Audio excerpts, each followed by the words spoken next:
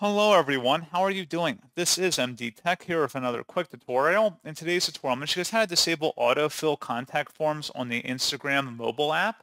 So this should hopefully be a pretty straightforward process here guys, and without further ado, let's go ahead and jump right into it.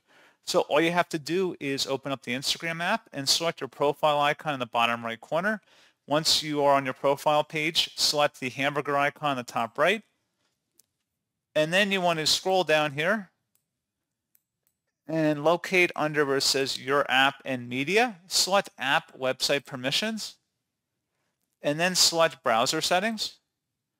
Where it says autofill contact forms, if you want to disable that, just click inside that oval one time until it's grayed out, and that is all you have to do.